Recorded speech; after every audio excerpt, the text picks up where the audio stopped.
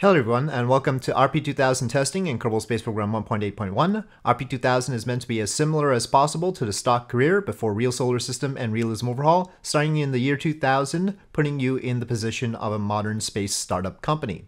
Because of life support issues I had in 1.10 and 1.11, I decided to keep it to 1.8.1. In terms of part mods, RP2000 will only require my small rockets and shear strut engine pack, but will be compatible with other part mods. I may make an additional part pack for later parts of the tech tree. This video covers a live stream where I test RP2000 with Kerbal Construction Time, which is optional for the first time. The Kerbal Construction Time configuration and many of the contracts are from the KSP 1.1.3 version of RP0. I do expect that I will be releasing a very, very alpha version of RP2000 soon, so uh, hopefully this video will give you an idea how the game flow goes with this career mod. Anyway, here is the original audio from the live stream. And I'll just uh, go for hard mode and have indestructible facilities. Plasma blackout require signal for control. Always allow action groups. And we'll have other limits there. That's fine too. And Kerbals will level up immediately. So I'm gonna permit all connectivity and choose a preset. So I just basically copied the RP0 preset. And so we have this RP2000 preset. And I'm gonna spend per normal with Kerbal construction time.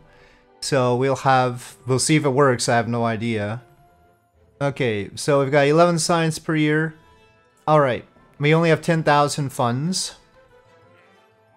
I sort of fixed the... I mean, RP0 had fixed this in the same way, the first flight contract. That had been fixed by RP0 by just getting rid of it, so I also just got rid of it. And now we have a first flight contract in our own contract group. The question is, after we get to the first satellite, will it give the other contracts, right?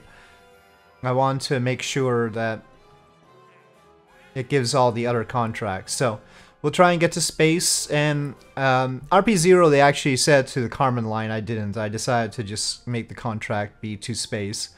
So now we have a little bit of an advance, but not a whole lot. And so we have the Kerbal construction time thing there. Sounding rocket core. For normal, that increased the build time. That's what it's supposed to do. Alright. So we can put experiments here, and I want to see I tried to make sure that it would actually... And now I've got this tag that says part placed and priced by RP2000 for any part that I've done. I created this whip antenna for communications so that we'll have an easier time. So we'll have two whip antennas here.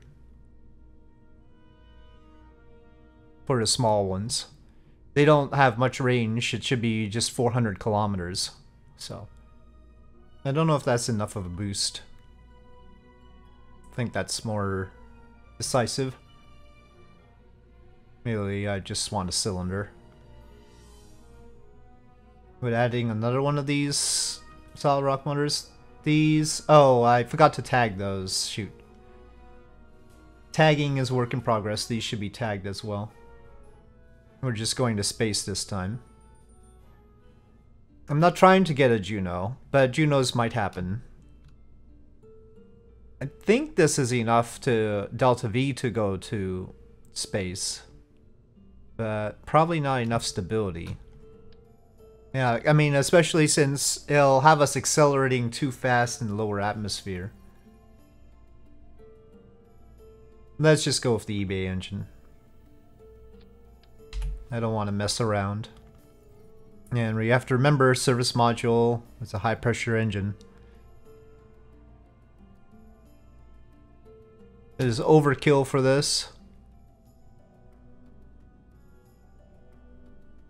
But it's still only 77, technically $77,000, 77 funds. Now I haven't made the special launch clamp for these small rockets, so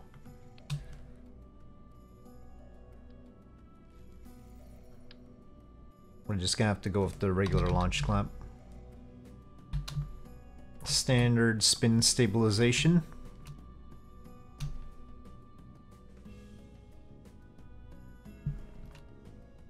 Since it's the EB engine, I'm just gonna call it. Well, it's. I don't know. I don't know about calling it the eBay rocket. We'll just do the usual thing and call it Alpha. Okay, uh, it said that it. Okay, now it's building, so it's just a version issue. All right, we are in business. Okay, what's our uh, rollout cost? Okay, I think we don't have a rollout rollout cost. Maybe not. Okay, that's probably for the best. I don't want that complexity. Okay, right. So throttle up. SA no no throttle up all no operational SAS modules, fine, but can you throttle up? I mean what the heck? Okay, fine. SAS we don't need. Ignition. And launch.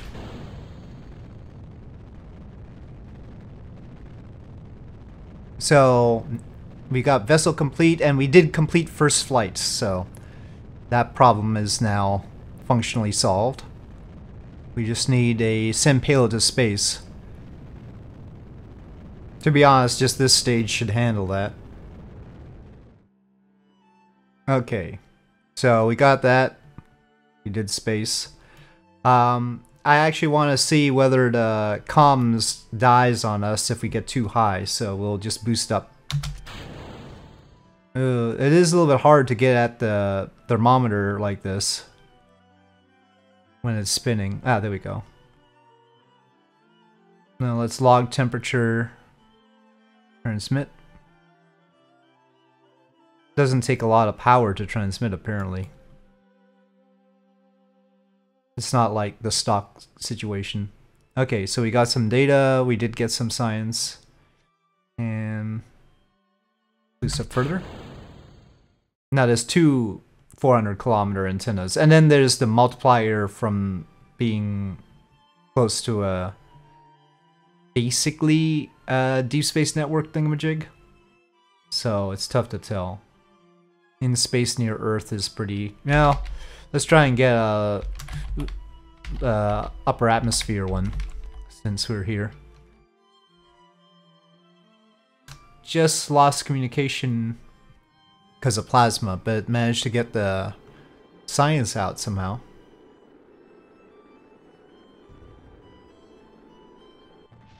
Oh, good. Alright. That's all disposed of.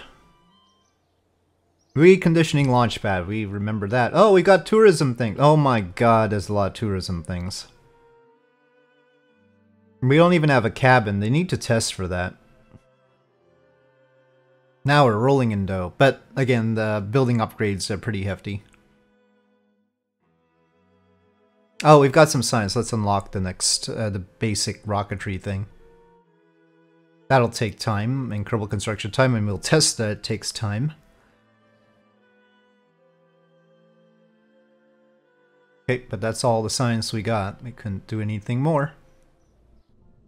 Oh, right, it takes some time. Shoot, I forgot about that. He needs time warp. I was looking, where's my engines? I guess we should have put some points into upgrades. We have one available. Let's speed up science. Mm, spend some and speed up science more. Uh, something wrong has happened.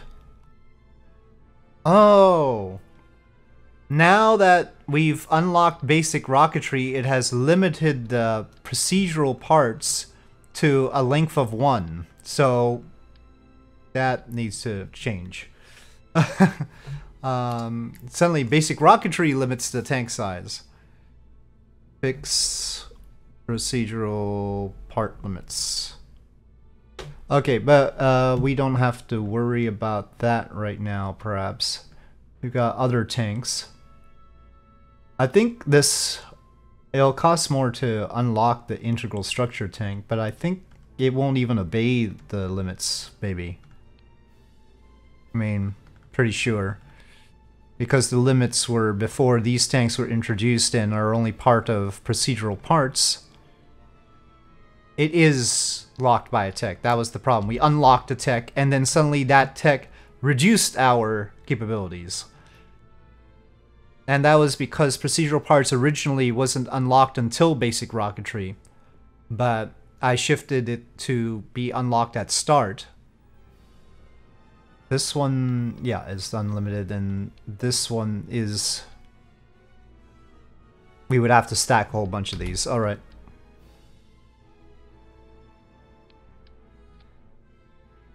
Let's say we use one of these for our mock payload.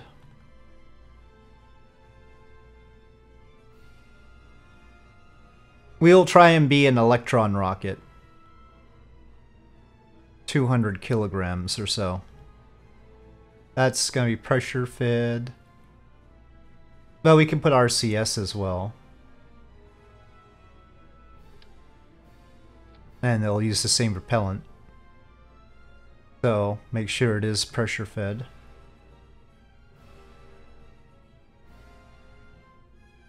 Our first, oh, but these are mod propellant RCS ports. Let's skip that for this time until we get bipropellant ones. Well, maybe we will go with the Reaver. Could be worse. Seems to have more capability than we were planning for. Okay, we'll keep it simple. We're just trying to get to orbit.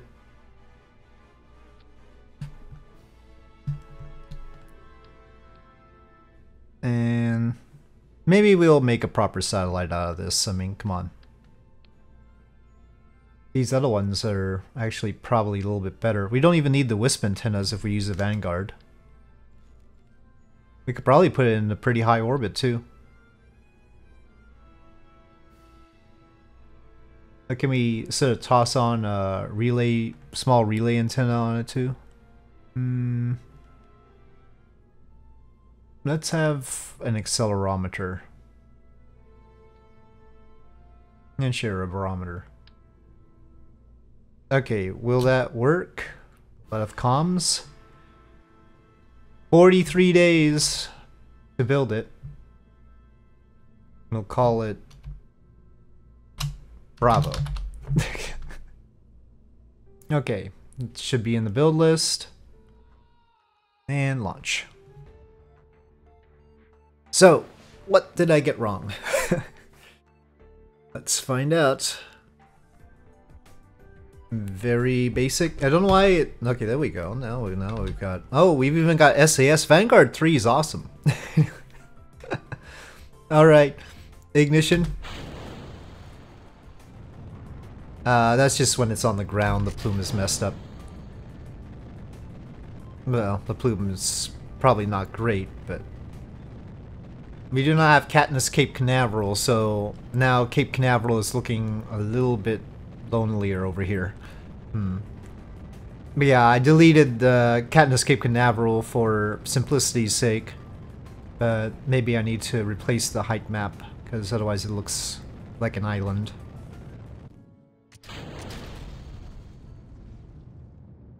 And fairings? Well, we're in the atmosphere, but maybe we can get some science. Gravity scan we can't do, but pressure scan we can. Then more science.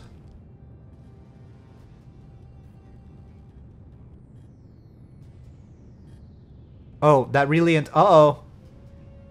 I did not expect it to use the... Why did it use the relay antenna? Now we're out of power, but then I guess it wasn't... As long as it gets into orbit, it's fine, right? It's just gonna go on its own now. Or does Smart ASS not obey the power restrictions? Yeah, I think Smart ASS is... I don't know how to stop it from doing that. let's just fizz forward. Well, it would still have gotten into orbit with all this Delta V, so it doesn't really matter much. I'll let it run out since, in theory, I shouldn't be able to shut it down. Okay.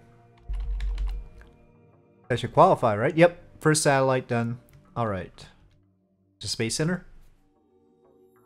I need some very different contracts. I don't want a hundred tourist contracts. Maybe I should turn off the tourist contracts. But then, it seems like a lot of people nowadays are running off of tourist contracts, so tough thing to say. But then we don't even have a pod. It should really figure out whether we have a pod first. Okay, we've got two. We got 19 tourism contracts for a high G adventure. Um, but we've got two. Oh, it says geosynchronous. I thought I'd fix that. Let me see. See, there's this section on the stock contracts configuration that I have that deliberately renames all the stuff to, well, other things. Not geostationary, for instance. So, it should be geostationary. But it didn't do that, so... Hmm... But that is that is not that is not geostation. That's the right altitude for geostationary. That's not the right inclination for geostationary. 119.7? Why? Hmm. Geosynchronous. Well, it's synchronous, but that's not still not right. Okay. But let's see. That one's 137.8 degrees. I'll take the more polarish one. seems seems easier.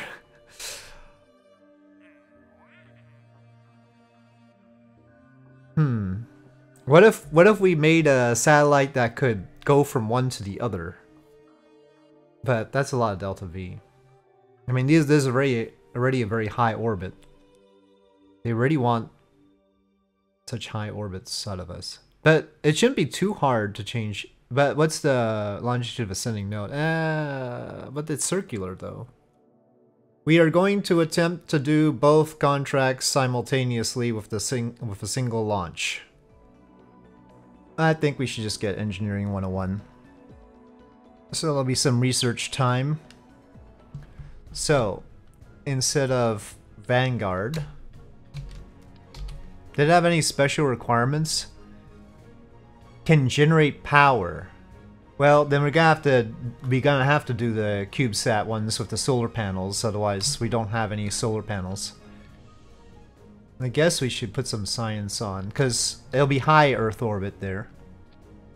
Uh oh, that's too high. Oh, come on. I want one of the lower nodes. CubeSat components are so hard to click on. Just fill all the other levels with batteries. Still 4 kilograms. Now, what, what about a really tiny, tiny engine? How small can we make these little things? Uh, no, I don't care about that. Fine. It's not even obeying that. Maybe I should have put a reaction wheel in. Those are exp well, they're not that expensive. They're like 8,000 bucks is in this situation, not very expensive. Mind you, that's got 0.02 torque. RCS is probably not necessary, but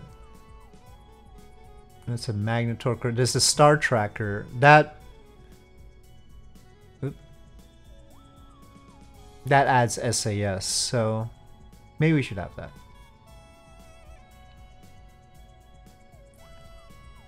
full-featured CubeSat. So I added uh, Aerozine and UDMH configuration. Just the same numbers, I didn't bother with that, but we'll probably stick to MMH and Mon 3. Uh, but these this has to use hydrazine. Uh, hmm. We'll need separate hydrazine. Well, I mean, maybe we can just rely on the reaction wheel, though. Maybe maybe we'll try and rely on the reaction wheel. Vastly underpriced? Well, that's $126,000, this thing. So, I mean, the, the, the pricing is all based on just adding three zeros. So, effectively, our budget is 179 million right now. Uh, let's see. What, what are they? I mean, it looks like they're basically less than a thousand though. So I don't know, but I didn't price the fuel. That's priced in real fuels, as far as I know. And I don't care. I want all the all the Delta V I can get. Maybe we should have multiple of those, or... Problem is, other things will have limited ignitions.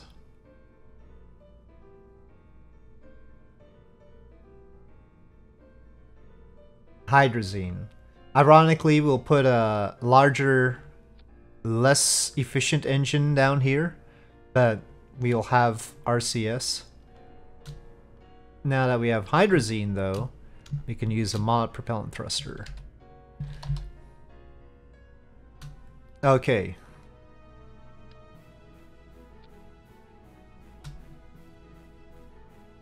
That staging is all over the place.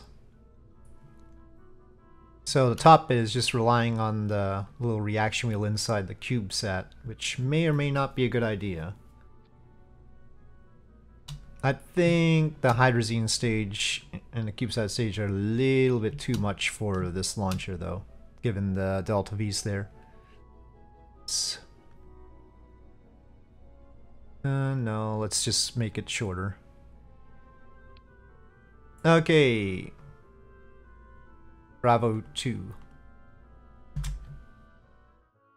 But I wonder what happened to the low orbit contracts. Suddenly it's giving us a high orbit contract. I shouldn't have let my first satellite get to such a high orbit, huh? Maybe. We have no control. Okay. Uh, alright. Um, uh, which one should I use? The recover vessel or the roll back? Recover active vessel, I think, that way. Hold on a sec. I guess we need the wisp whip antennas as well. We really only need the whip antennas for launch, though. Okay, seems good to me. Okay, well, now we have comms. Uh, we have to pay attention to which orbit we're going into. So eventually we're gonna have to like tilt the orbit up there. That's gonna be fun. But let's see. Um, I don't want to get in either of these orbits, but uh, let's go for the green one first. There's no tooling. I'm not putting tooling in.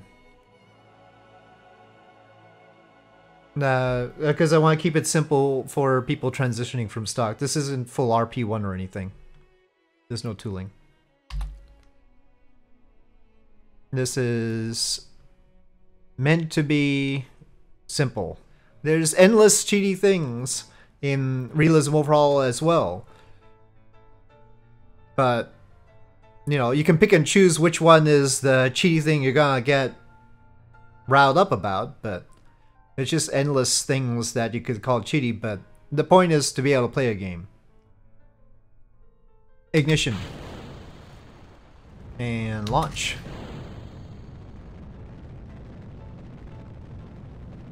I do like when they get to this part of their plumage. Remember folks, you're not allowed to go this way. Speaking of cheaty things. I might have uh, wanted to go the subtract in the opposite direction. Well, we can definitely dump the fairings. We'll need some of this stage to finish up orbit too. Well, we're in space, we can extend things. Can we get to 2 degrees, 2 degrees? But here, 1,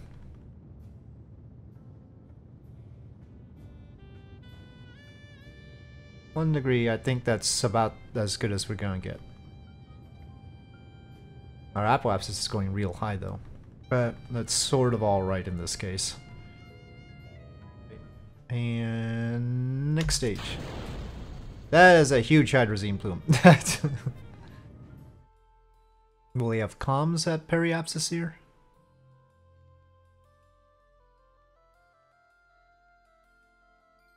Yeah, looks like Kourou. Wow, that reaction wheel is actually pretty good. I don't even think we needed the RCS ports. Okay, staging. Oh. Ah, KSP crashed.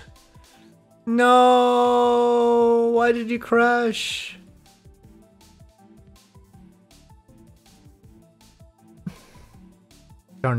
I've had this problem with decouplers sometimes.